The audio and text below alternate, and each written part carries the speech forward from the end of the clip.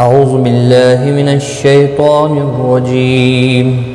بسم الله الرحمن الرحيم. لا تحسبن الذين يفرحون بما أتوا ويحبون ويحبون أن يحمدوا بما لم يفعلوا فلا تحسبنهم فلا تحسبنهم بمفازة من العذاب ولهم عذاب أليم. السلام علیکم ورحمۃ اللہ وبرکاتہ۔ لرن قرآن لائیو چینل کی جانب سے ہم آپ کو خوش آمدید کرتے ہیں۔ آج کی اس ویڈیو میں ہم انشاءاللہ سورۃ آل عمران کی آیت نمبر 188 سیکھیں گے تجوید کے ساتھ۔ شروع کرتے ہیں۔ لا تحسبن الذین۔ لا الف مدہ ہے، ایک الف کی مقدار کے برابر کھینچ کر پڑھیں گے۔ تحسبن، نون مشدد پر گنہ ہوگا۔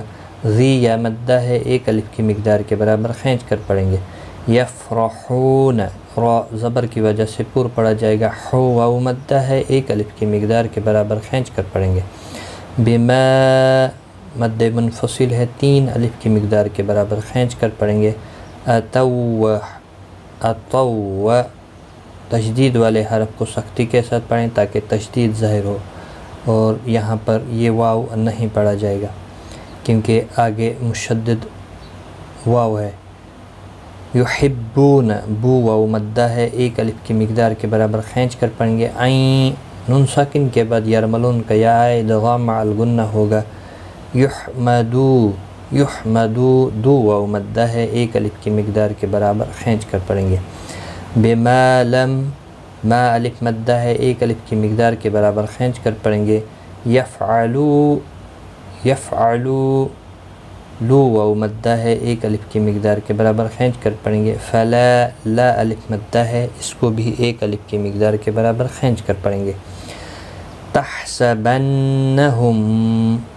نون مشدد پر غنہ ہوگا۔ میم ساکن کے بعد متحرک با آیا ہے، تو گویا یہاں پر اخفاء شفوی ہوگا۔ گنہ کے ساتھ پڑھیں گے۔ ف الف مدہ ہے، ایک الف کی مقدار کے برابر کھینچ کر پڑھیں گے۔ بما ف زا کو سختی کے ساتھ کریں گے تاکہ زا حروف صفیریہ میں سے۔ تنوین کے بعد یارملون کا میم آیا ادغام مع الغنہ ہوگا۔ من العذاب، زا الف مدہ ہے، ایک الف کی مقدار کے برابر کھینچ کر پڑھیں گے۔ اور یہاں پر وقف جائز ہے، یہاں پر آپ رک سکتے ہیں۔ اور رکنے کی صورت میں بعض ساکن جب ہوگا، اس پر قلقلہ بھی ہوگا۔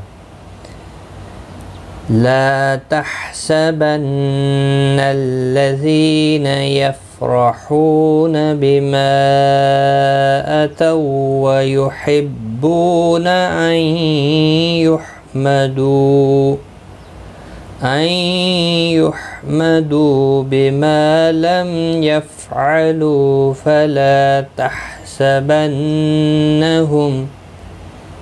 فلا تحسبنهم بمفازة من العذاب ولهم میم ساکن کے بعد آئینہ ہے اظہار شفوی ہوگا ذا الف مدہ ہے عذابن ذا الف مدہ ہے ایک الف کی مقدار کے برابر کھینچ کر پڑھیں گے اور تنوین کے بعد حروف حلقی کا حمزہ ہے، اظہار حلقی ہوگا، گناہ نہیں کریں گے۔ لی یا مدہ ہے، ایک الف کی مقدار کے برابر کھینچ کر پڑھیں گے۔ اور وقف کی صورت میں میم ساکن پڑھا جائے گا۔ وقف بالاسکان ہوگا، مد العارض وقفی ہوگا۔ تین سے پانچ الف کی مقدار کے برابر کھینچ کر وقف کریں گے۔ ملانے کی صورت میں یہاں پر ادغام مع الگنہ ہوگا۔ تنوین کے بعد یارملون کا واوا ہے۔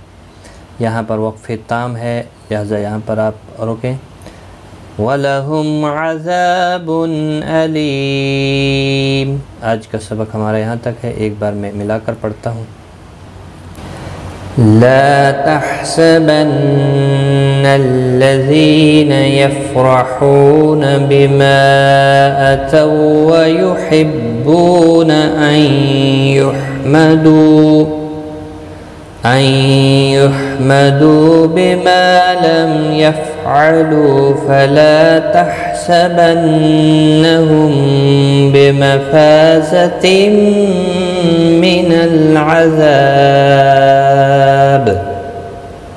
ولهم عذاب أليم. صدق الله العظيم. آج کی اس ویڈیو میں اتنا ہی. خدا حافظ.